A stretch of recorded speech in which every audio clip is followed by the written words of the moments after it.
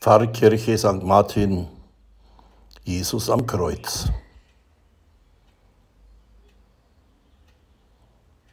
Feier des Gründonnerstags, Altarverwüstung. Grüß Gott zusammen. Wir haben gerade in der Pfarrkirche drüben die Karfreitagsliturgie gefeiert. Und die endet ja immer damit, dass wir den Jesus begraben am heiligen Grab, dass wir ihn dort niederlegen, seinen Leichnam. Und das ist immer sehr eindrucksvoll. Das heilige Grab wird schön hergerichtet. Ja, und ist natürlich ein wertvoller Ort für uns zum Gebet, zur Anbetung. Und da werden dann immer ein paar Verse gesungen, aus einem Lied, das im alten Gotteslob drin war. Warum es im neuen nicht mehr drin ist, weiß ich nicht.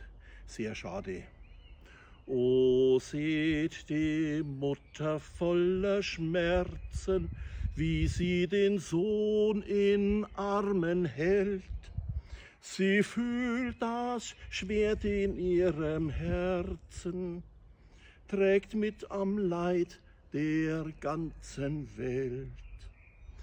Er wird der Erde übergeben, wie man den Weizen bettet ein. Doch wird er auferstehen und leben und über alles herrlich sein. Und dann folgen diese eindrucksvollen Worte, die Bach in seiner Passion ähm, komponiert hat, ausgetont hat.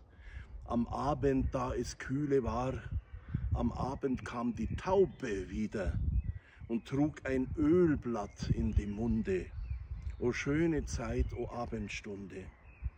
Nun ist der Herr zur Ruhe gebracht, mein Jesu gute Nacht.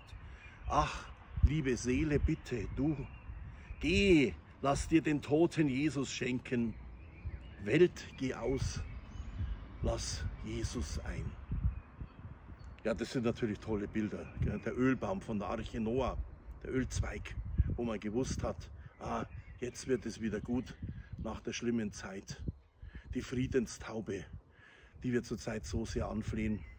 Und der Weizen, der uns ausgeht und von dem wir auch hoffen, dass die Menschen doch bald nicht mehr hungern müssen.